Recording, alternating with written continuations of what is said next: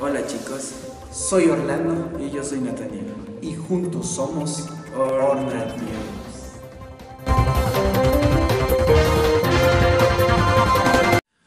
Hoy vamos a hablar de un tema político. Hablaremos de la postulación a la presidencia de un pastor en Venezuela. Últimamente Venezuela está pasando por una crisis económica. Pero nos sorprendió que un hombre llamado Javier Verducci tenga la osadía de postular a la presidencia. Pero para más información, vea este video. Las riquezas del Estado Bolívar son una de las más grandes. Bueno, estamos aquí con nuestro compañero en el seminario, Álvaro Peña, quien es de Venezuela y nos va a compartir un poco acerca de quién es Javier Bertucci.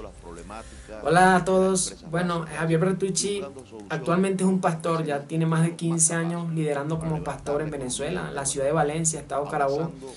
Y Javier Bertucci no solamente está en Venezuela, Javier Bertucci, la denominación que él, él ha fundado, la cual se llama El Evangelio Cambia, está en muchos países, en muchas naciones. Y hoy en día cuentan con más de 140 mil personas que hoy en día son creyentes.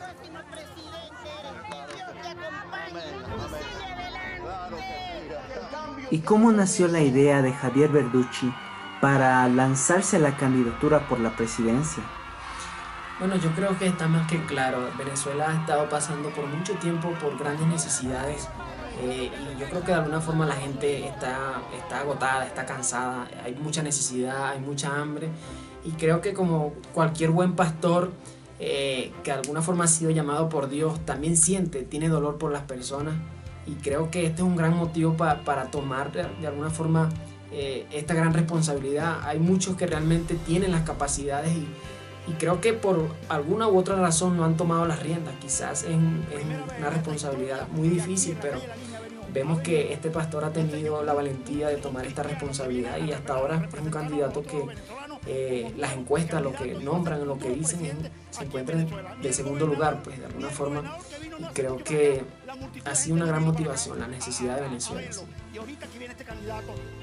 candidato, un, un- vamos a decir, una nueva imagen para el país y para que nos acomode nuestro, nuestro país, que estamos contra el suelo, este es el candidato y este es el futuro presidente de todos los otros venezolanos. Muchas gracias.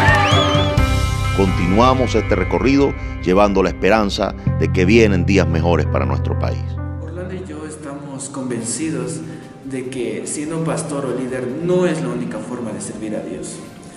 Y claro, porque no toda la gente Dios llama para ser pastor.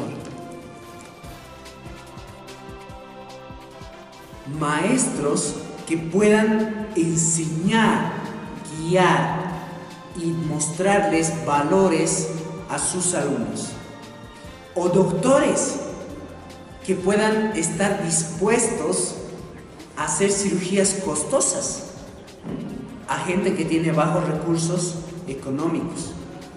O puedan infundir simplemente alegría, paz y esperanza en los hospitales a las familias dolientes. Siendo la esperanza de todo un país, demostrándoles el amor de Dios.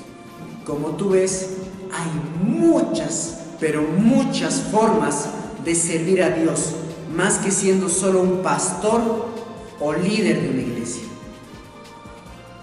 Dios nos llamó para ir por el mundo y predicar el Evangelio. Pero, ¿qué mejor forma que siendo un presidente? Dejemos de hablar de ayudar a la sociedad y empecemos a hacerlo. Gane o no gane Javier Verducci, él ya hizo la diferencia y nos enseñó a todos nosotros a cómo debemos impactar al mundo. Necesitamos más gente como Luther King, como Lutero o como Hildegard. Este es un mundo de libre voluntad. Y Dios no va a venir a nosotros si no le invitamos a nuestra vida. Pero Dios no va a venir en forma de trueno y va a hacer que todo se restaure por magia de un instante a otro. No. Nosotros tenemos que ser ese milagro vivo para otras personas. Después de todo, Dios ha utilizado a un burro para hablar. ¿Por qué a nosotros no? Y esto fue Ornat News. Hasta otra oportunidad. Chao.